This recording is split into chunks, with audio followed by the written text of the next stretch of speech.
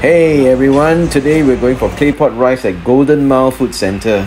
So this is how they make the rice. Always start with raw rice, right? You put it into your clay pot and then after that you add on some of this beautiful chicken stock and you allow the rice to cook in the pot.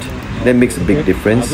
Put on a timer for 15 minutes and then we get the chicken ready. This is marinated chicken marinated with oyster sauce, some sesame sauce, and other secret ingredients. What I like about this store is they really use really good sausages. They got duck sausage as well as the normal sausage, and they have this nice chunky um, salted mackerel or batang fish.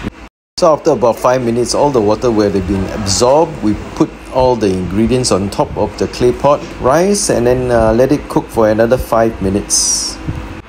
So once the sides have started to char, okay, we're going to transfer it from the gas to the charcoal where it's going to spend another 5 minutes where all the sides will develop that nice crust that everybody likes. Okay, now it's ready.